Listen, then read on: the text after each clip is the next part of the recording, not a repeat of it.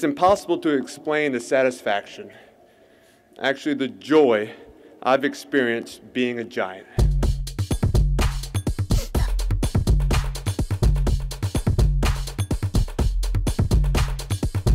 Uh, oh, bless Thank you.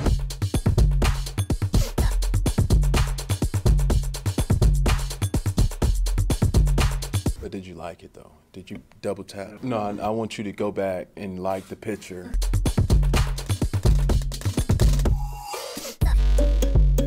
In the hell is Mel Kiper anyway?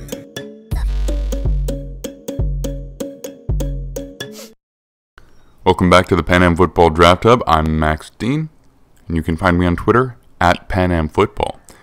Now, today we are doing our third video in the AFC South Divisional Deep Dive series, the draft analytics for the Tennessee Titans. If you like what you see, throw me a like. I am putting a lot of work into this. And if you want more, just hit subscribe because we're going to be doing every single team in the NFL over the next seven, eight weeks, along with salary cap videos for every single one as part of the divisional deep dive series. So if you want to know about your team, this is going to tell you a lot about what it is that they're trying to accomplish and what they've done so far. I would also suggest checking out other teams because it's going to give you some insight into what your team is doing better than them in certain areas and some things that you might say, hey, I want my team to start doing that.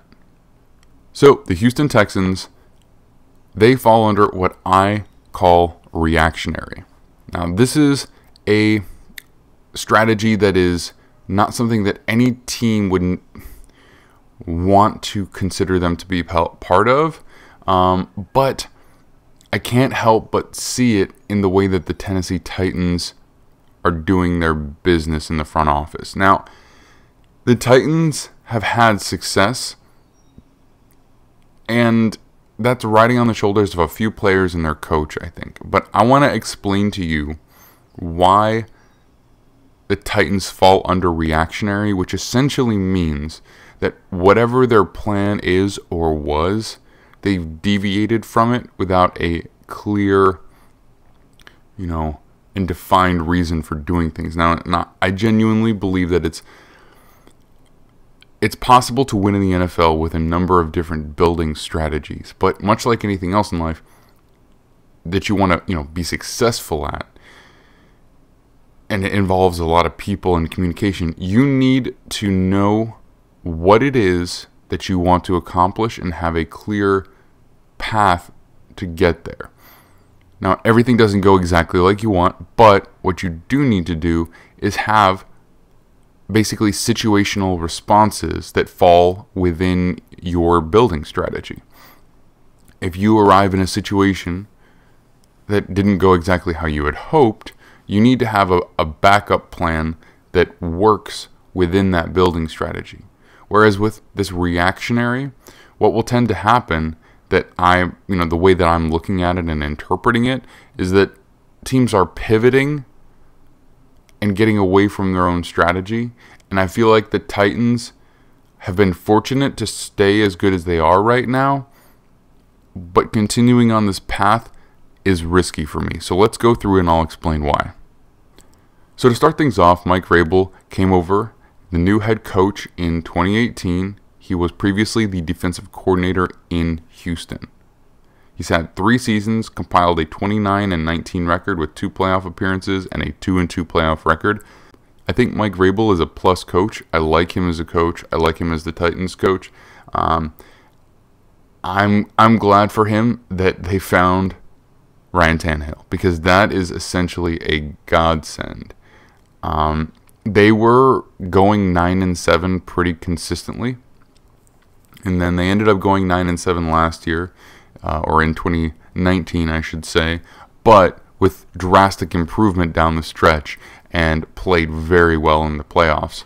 Last year, they essentially picked up where they left off and went to the playoffs again, although they didn't win a playoff game this particular time. So, uh, you know, a 29 19 record is solid, and playoff appearances in two out of three years is not bad either.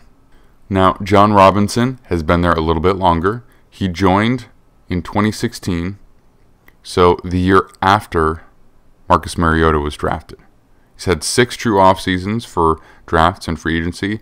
He has compiled a 47 and 33 record and has three playoff appearances over that time with a 3 and 3 record. So he made it to the playoffs with the previous coach before Vrabel just one time, although they did win a playoff game. So in Robinson's first draft back in 2016, the Titans did collect a number of high impact players. Jack Conklin, tackle in the first round, who's been their right tackle for a number of years before moving on to the Browns. Derrick Henry, obviously the incredible running back from Alabama, 6'5, 250, or whatever it is that, that he measures out at. And he's just a dominant force. And then Kevin Byard, I would say, is their second most impactful player for them, the safety from Middle Tennessee State. And he's been among the best uh, safeties in the NFL for the majority of his career. I think he had a little bit of a down year last year, but still high impact player. You look at this and you say there are some things that we definitely like here. Every draft class is different, and it's important to look at each one and and get some notes about it and look at it as a whole because not every draft class has to fit every category to fit into the greater uh, team building process. But early on, they go with tackle, edge defender, interior defensive lineman uh, with their first three picks. So they go premium positions with their top three picks. They've accumulated a number of second round picks along with a third round pick.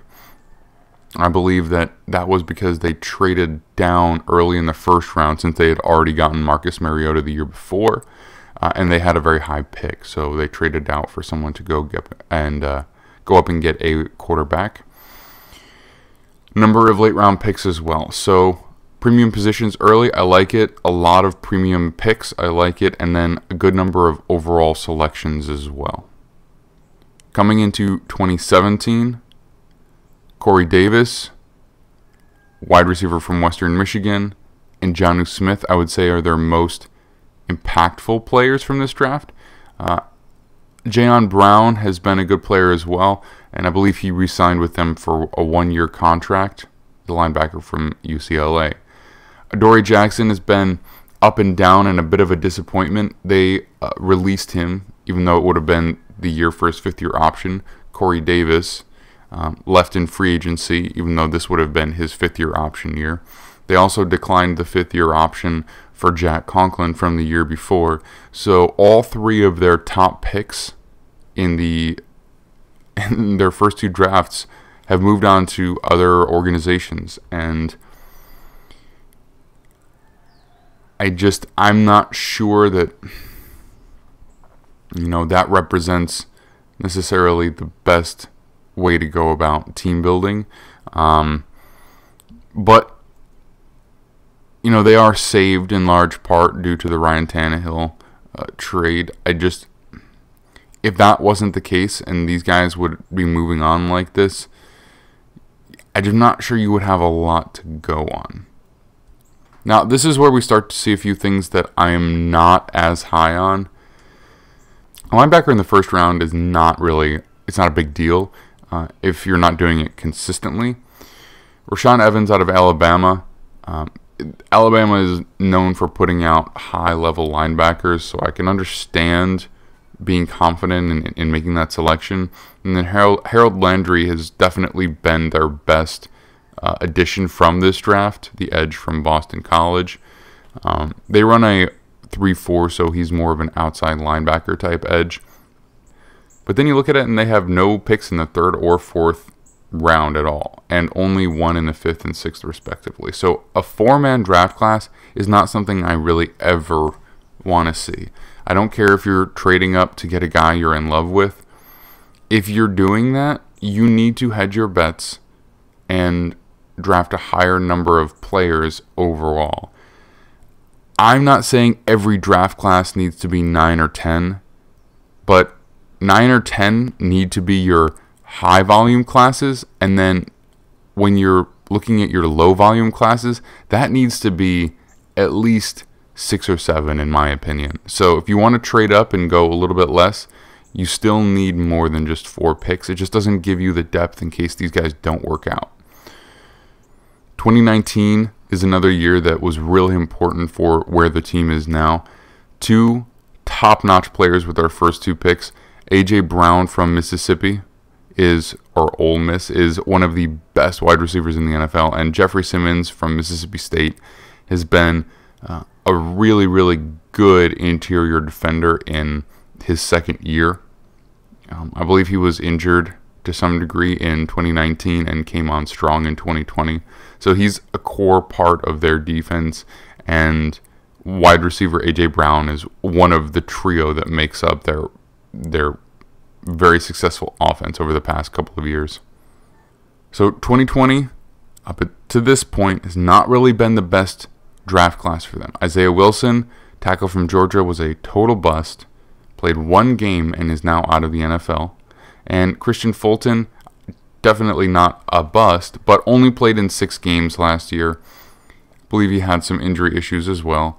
So their top two picks, not a lot of impact, and nobody else on you know in this class was super significant early on in their careers. So this is kind of where I'm looking at the reactionary style of uh, of team building. It's kind of it's certainly a good example of it. So you look back and you drafted Jack Conklin with your first ever pick as a general manager. Yeah, you have an expensive tackle on the other side, but because you decided not to use the fifth year option on Jack Conklin, he ends up moving on in free agency to the Browns. And I'm not saying that not using that fifth year option was a bad move. He had had some injury issues, so I can understand why you wouldn't have wanted to commit to that. But I believe that they did have opportunities to try and get him extended at some point throughout the season. Um, when you realize how important that right tackle position is to your rushing attack, which is the majority of your offense, that should have been a priority. When you got into free agency, you couldn't compete with the other teams because you had to make a number of high level signings just to your own roster. You had to focus on Ryan Tannehill, you had to focus on Derrick Henry. You got yourself into a position in the draft where you felt like you had to take a tackle to fill that spot. Because you felt like you had to take a tackle. The class with a tremendous number of tackles that all went off the board before you got to select, uh, you know, and you just went with Isaiah Wilson. It just, it obviously didn't work out, and I just feel like that's a reactionary draft pick. They lose Malcolm Butler, they draft Kristian Fulton. I don't want to say that's a bad pick because we haven't really, you know, seen him develop yet, but losing a player, losing a veteran player should not be your immediate response of going out and drafting his replacement. Ideally, you want to be looking and drafting guys that you know you're going to have to give up on in a little while. Like you want to have a little bit of crossover time so you're not throwing rookies into the fire. So, again, we're looking at a similar situation in 2021. They're trying to immediately replace players who have departed for various reasons with early round draft picks. Because Adoree Jackson had his fifth year option picked up but then was released. They now have no real answer at corner. Their number one corner going into the draft, I believe, was Kristian Fulton, a guy who was a second round pick and played in less than half of the games in the season. And then they cut, or actually, I guess they, they traded away for a seventh round pick, Isaiah Wilson, because he was just a total bust who wasn't interested in football. So they turn around, draft a corner in the first round and a tackle in the second round.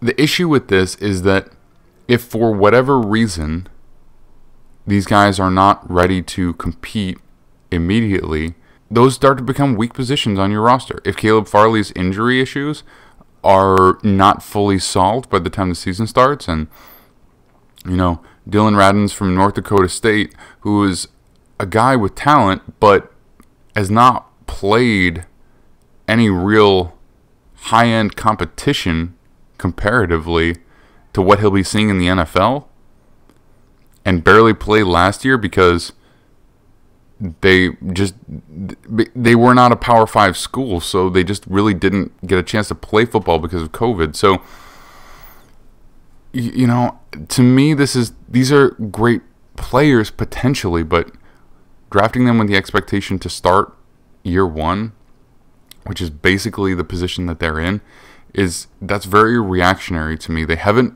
built themselves up a pipeline of players and I just I'm not seeing any kind of clear and and consistent path to their success. And to be perfectly honest, if they didn't trade for Ryan Tannehill, I don't know what the state of this team would be in right now. I really don't. I know that they probably have lost some talent in free agency because of the cost of Ryan Tannehill that they weren't necessarily expecting. But at the same time, if Marcus Mariota had worked out, you'd be paying him at least as much, if not more. So there's really no excuse to to to not realize you're going to be in the position you're in. And then, you know, signing Derrick Henry long term, he's an incredible player. But he plays a position and he plays with a violence that just do not lend itself to longevity in the NFL. Because of what he is, he may never be the same starting at literally any point for the rest of his career, and it wouldn't be a surprise or a shock. Because of his running style and what it is that gets their offense going, if they lose his impactfulness, they lose everything. And I like Ryan Tannehill, I really do. But their entire offense is based around the dominance of Derrick Henry.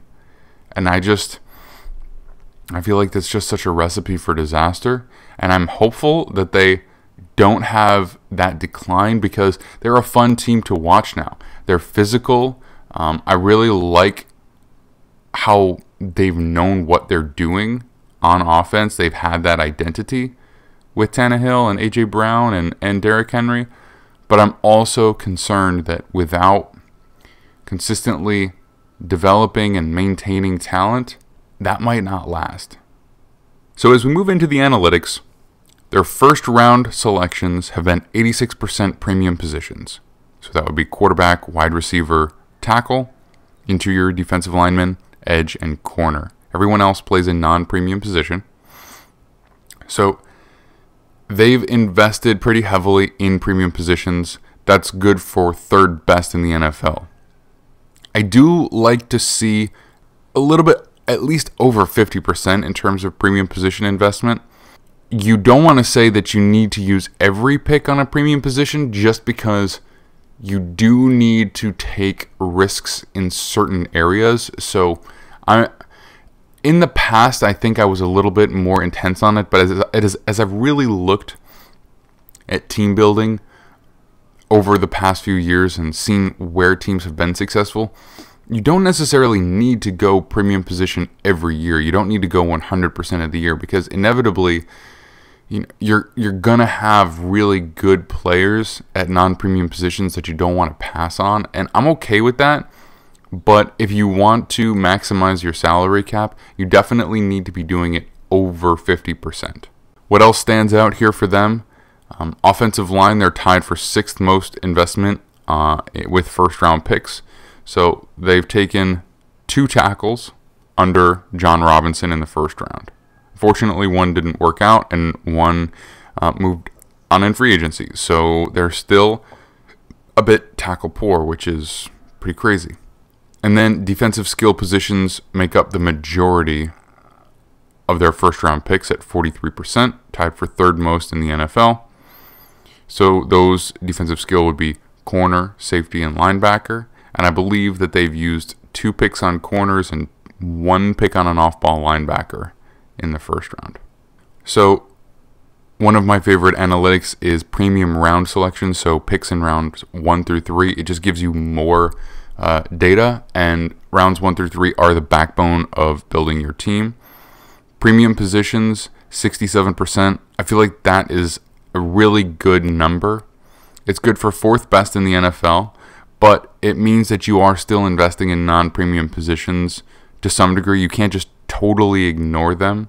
Um, But overall, I think that their their investment level in premium positions is about spot on where you want to be, especially in the first round and then just a little less in the premium rounds. You want to be hitting those premium positions. And this is something that I do like that they've done successfully. They go a bit more defense heavy, but not by a huge margin. So they're around middle of the pack for both. And then uh, something that um, it's not necessarily a bad thing, but it's not my personal style. Not drafting any quarterback in all of those drafts in the first three rounds. Now, I do understand that you had Marcus Mariota, but I do not think that you should go through the drafts and especially if you're not sold on a guy, just ignore the position in the premium rounds. Even if you're looking for a possible developmental guy in the third round, that would be a good opportunity to add to your team a guy that might be an important backup you could do it in the fourth round. You could do it in the fifth round. So let's keep an eye on that when we get to um, the full draft analytic so that we can see if they're at least doing it there. For the rest, they're all pretty well in the middle of the pack. They're pretty evenly spaced out, um, despite the fact that they do invest more in the defensive skill positions than any of their other positions. It's still 12th best in the NFL, or 12th most, I should say. So it's not, you know, substantially more. They're one of the more evenly rounded teams in terms of uh, core by core position uh, investment. So now, when looking at all rounds, so rounds one through seven, some of the things that I was talking about have kind of come to fruition. The quarterback investment has moved up to tied for fifth. And so that means that they're investing pretty consistently over their drafts in the later rounds. Now, I'm okay with that. I want consistent quarterback investment, um, and they've managed to do that. They've maintained a over 50% um, investment in premium positions at 65%. That's second in the NFL. The one thing I would say about that is that if you're as high as they are in the first round and the premium rounds, so I believe it was 80 85% or something and uh, 67% respectively. You might want to be a little bit lower in your percentage once you factor in all of the rounds, just because you need you need to invest in, in non-premium positions as well. You can't just ignore that. So that's one thing that I would point out. Everywhere else, they're pretty well spaced out. You know, still defense heavy in fact, more so once you get through all of these picks.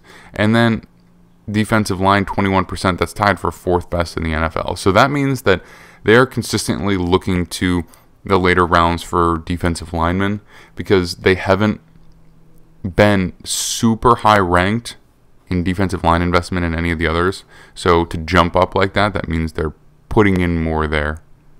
So when looking at all of their drafts, the Tennessee Titans under Jon Robinson have averaged 7.17 picks per draft. That's not really where I would like it to be.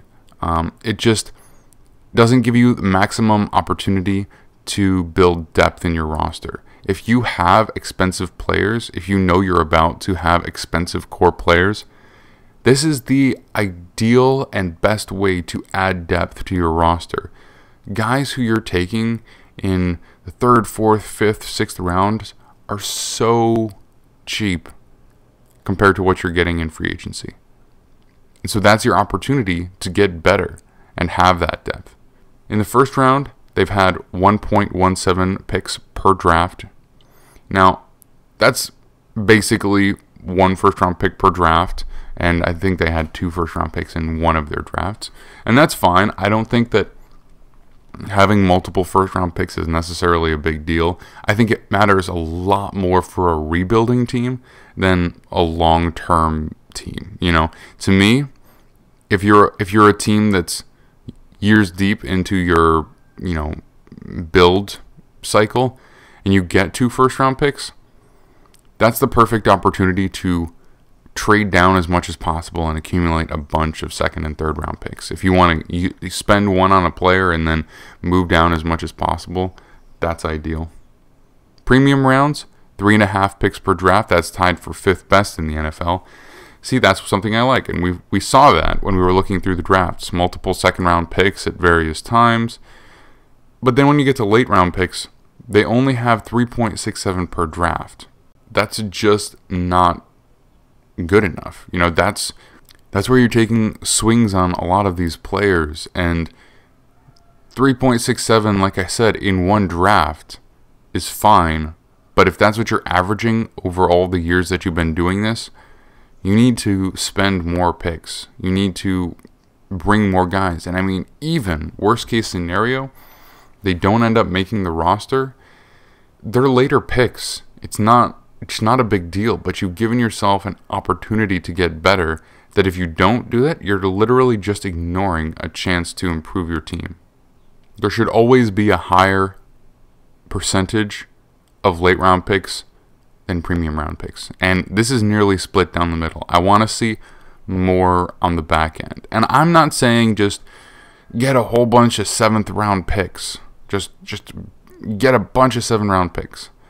Again, I've said before, it doesn't hurt you to do that. But no, it's not the most ideal way to go about it. But you have opportunities throughout the draft. Teams are always interested in trading up in various times. You have the ability to accumulate these later picks. So I would like to see them just do a little bit more of that. All right, so that was the Tennessee Titans under Jon Robinson. And I think you'll be able to see a bit more of this reactionary style when we look at the salary cap coming up. The Titans are heavily focused on a few players. They're a bit top heavy. And they've been lucky to accumulate some of those guys. I mean, spending a pick on Derrick Henry, that was good. But he's also five years deep at this. And this is going to be his sixth year in the NFL. Running backs have a notoriously short life cycle. Aside from that, you have a somewhat injury prone left tackle, and you're incredibly lucky that this franchise quarterback fell into your lap. And I know, yeah, you had to go out and spend a draft pick to trade for him, but even if Ryan Tannehill was just fine, just a fine player, it still would have been a good trade, but you, you wouldn't have a good team right now. You would have had a not very good Marcus Mariota and a fine quarterback, but the fact that Ryan Tannehill has worked out has been a godsend for them.